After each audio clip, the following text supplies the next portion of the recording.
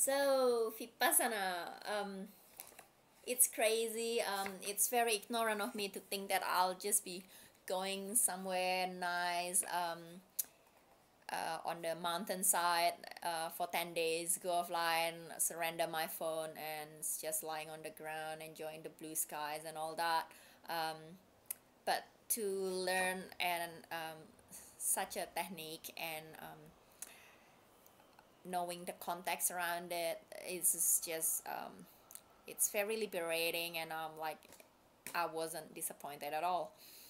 Um, so anyway, what is the what is this vipassana technique? Um, so I did ten days, and the first three days is basically observing your breathing. So remember how I said like my friend um, talk about oh you go there and you do nothing.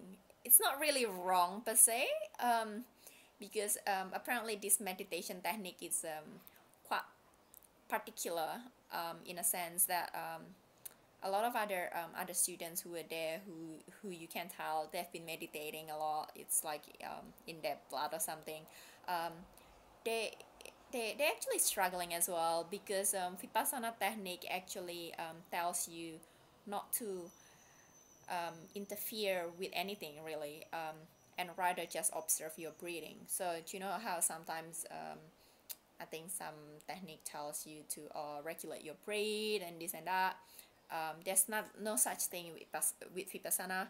Um, so the first three days is basically groundwork before you actually tap into the vipassana technique itself.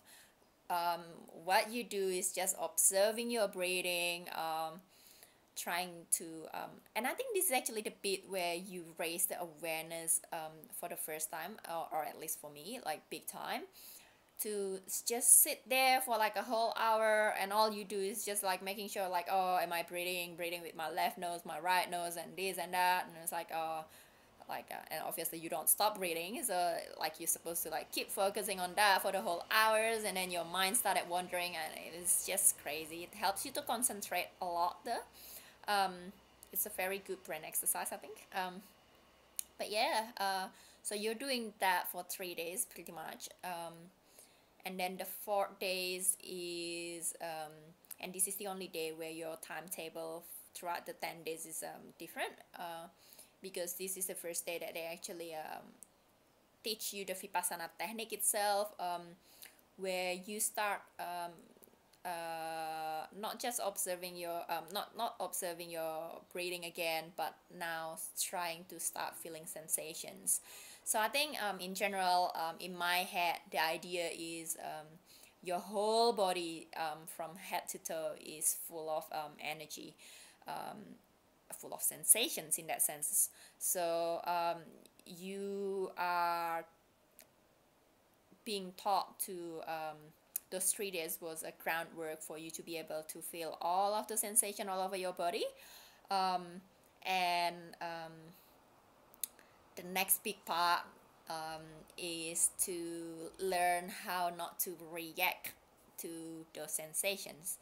And that's basically um, the big big big part of um, the whole vipassana meditation um, because they were um, um, so you have a you have a like a what they call it discourse. It's not really a talk it's, it's a discourse to um, explain to the students at the end of the day um, every night um, why you're doing such thing um, throughout the day because every day there's a, extra instructions a little bit more a little bit more. So they tells you like oh why you're doing that is because of this and that.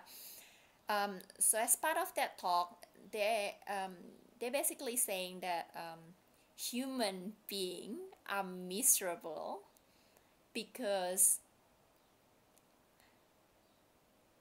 our own um, our own doing in a sense that um, they they're saying when you feel a sensation and you start reacting and um, if you're um, if it's a pleasant sensation you're liking it you start generating um, generating what they call um, craving because like oh this is good. I want it more. I want it more. I want it again.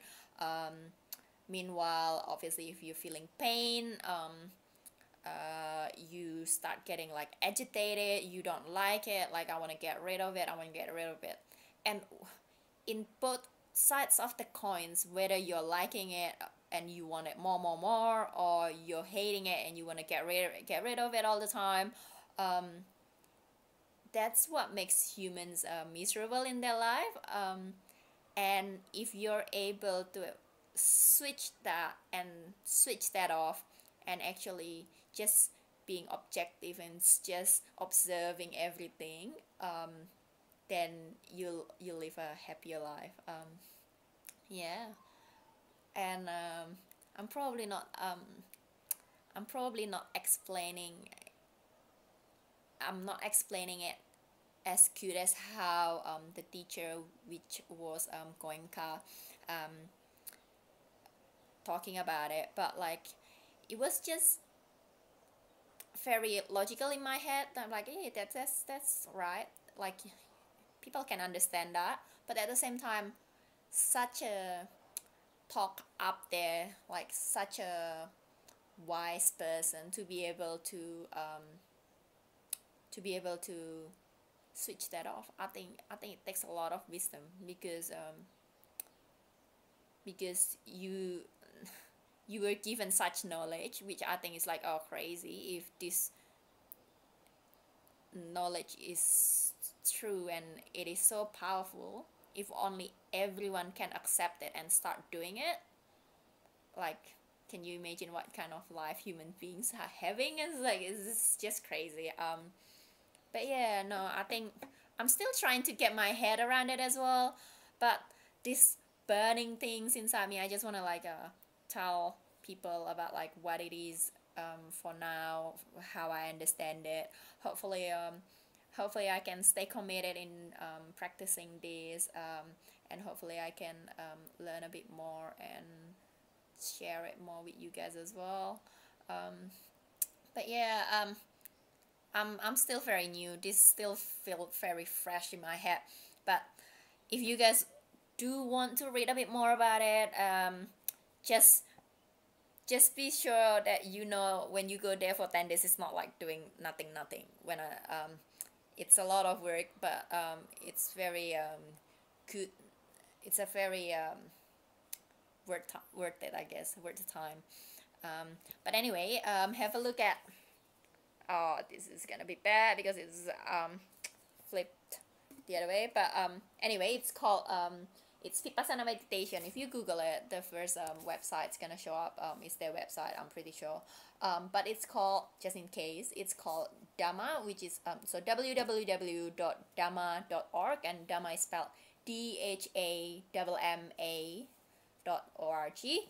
Um and yeah you can um read a bit more about it find out if there's a site around you. Um don't expect like it's not one of those fancy uh, retreat where you're like you're given like organic food um and you're like um eating all of this um I don't know um very fancy bowl of salad or and doing yoga. You're not even allowed to do yoga by the way. Um you're not allowed to exercise um just so that you don't disturb others. Um you were asked to stop um if you have any rituals um of your own beliefs just for those 10 days um just so you don't I guess um I mean for some people it might be a big ask but um for me I, I do understand because like uh, if you see someone practicing